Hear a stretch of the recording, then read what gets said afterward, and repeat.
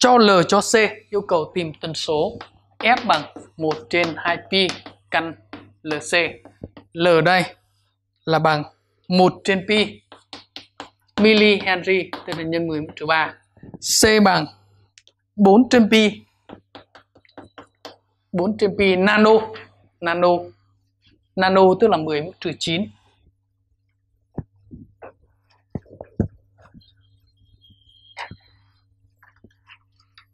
4 trên pi nhân 10 mũ trừ 9 như vậy, cái này sẽ thành bao nhiêu?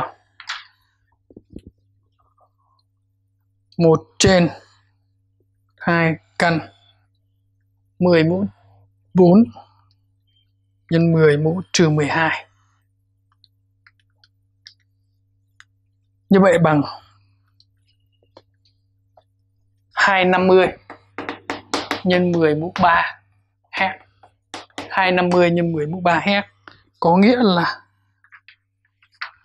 chọn phương án D, chọn phương án D.